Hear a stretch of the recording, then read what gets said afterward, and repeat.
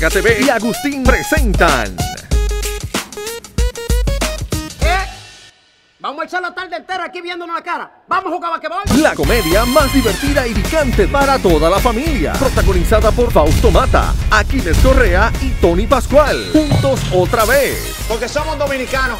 Porque somos puertorriqueños. Somos dominiqueños. Estos dos se están metiendo a Los Dominiqueños.